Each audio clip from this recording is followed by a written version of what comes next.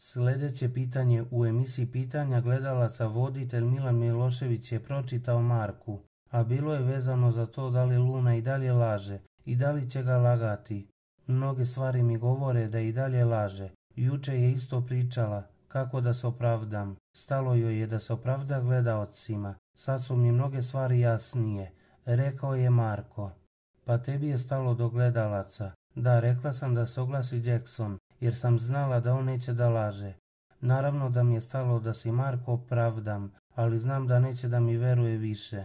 Ti si taj koji veruje gledaocima i po tome gledaš kako ćeš da se ponašaš.